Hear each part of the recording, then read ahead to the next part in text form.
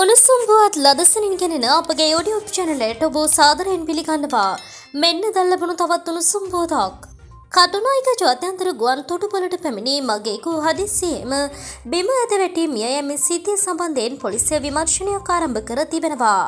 Cutter රාජ්‍යයේ සිට අද අලුයම පැමිණි මෙම පුද්ගලයා පැමිණීමේ පරයන්තය තුළදී මෙලෙස බිම ඇද වැටි මිය ගොස් ඇති බවට අප ගුවන් තොටුපල වාර්තාකරු සඳහන් කළා. පනස් පස් හැවිරිදි ඔහු කැනඩාවේ පදිංචිකරුවෙකු වන අතර ඔහු පිටකෝට ප්‍රදේශයේ සිටින ඥාතින් බැලීමට සඳහා මෙරටට පැමිණ තිබෙනවා. මෙවැනි උණුසුම් පුවත් ලදසනින් දැන ගැනීමට අපගේ YouTube චනලය සබස්ක්‍රයිබ් කර බෙල්ල එකනේ ක්‍රියාත්මක කරන්න.